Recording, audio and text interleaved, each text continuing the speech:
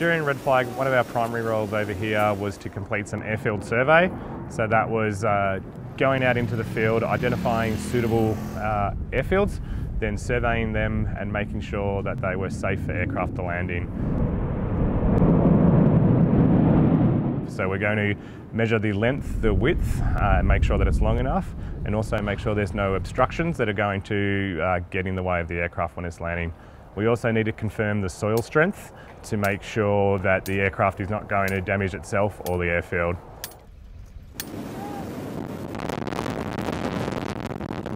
Primarily we've been uh, inserting via parachute uh, and it has provided some uh, challenging conditions mainly due to the weather.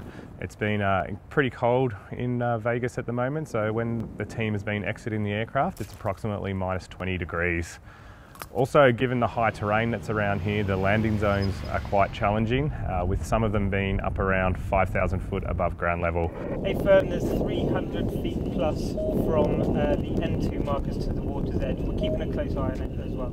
Uh, this has provided a great opportunity for 4 Squadron because it's an environment that we don't get to train in very often. Firstly, the weather is, uh, is a lot colder and the altitude a lot higher than what we typically see in Australia and also in these large coalition environments we get access to aircraft and coalition members that we don't normally have the ability to train with.